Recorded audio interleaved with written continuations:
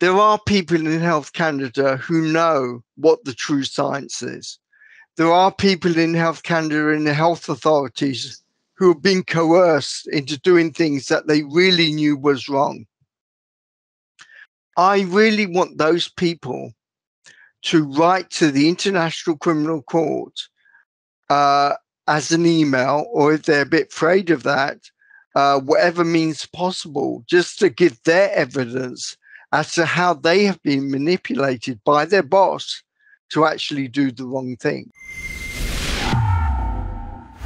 For Rebel News, I'm Tamara Ugolini, and today's report is the second part of a two part series where I discuss pandemic response with research scientist and clinical immunologist Dr. Phillip Oldfield.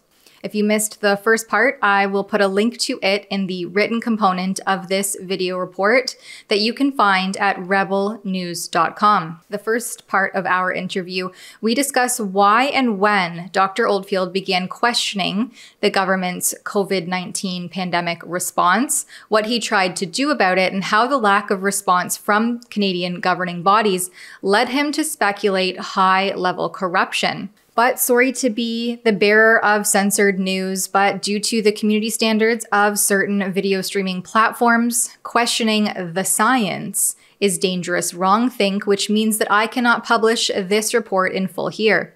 Please head on over to rebelnews.com and subscribe to our content there so that you can be sure to see all of our reports uncensored. I'll see you over there.